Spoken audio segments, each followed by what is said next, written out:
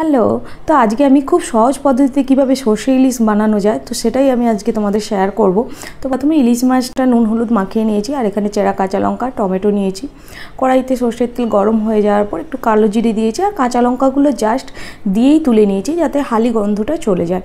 তো এবার কড়াইতে এক এক করে নুন হলুদ মাখানো ইলিশ মাছগুলো ছেড়ে দিলাম। মাছগুলো বেশি ভাজবো না এপিট উপিট করে নেব। তো ইলিশ মাছ ভাজার সঙ্গে সঙ্গে একটু বাইরের পরিবেশও দেখছি। কারণ আমার জানালা থেকে বাইরের যে পরিবেশটা এত সুন্দর লাগে মানে মাঝে মাঝেই ওইদিকে চোখ চলে যায়। তো যাই হোক, এখন আবার রান্নাতে ফিরে এসেছি। তো এখন ইলিশ মাছগুলো আমার প্রায় এপিড উপিট করে ভাজা কমপ্লিট হয়ে গেছে। তো আমি মিক্সিতে সর্ষে আর পোস্ত, একটু সামান্য পোস্ত দিয়ে পেস্ট করে নিয়েছি। আর এখানে ইলিশ মাছগুলো আমি একটা সাইডে করে তেলের মধ্যে প্রথমে হলুদ গুঁড়ো দিলাম, তারপর পরিমাণ মতো লঙ্কা গুঁড়ো, যে যেমন ঝাল পছন্দ করে।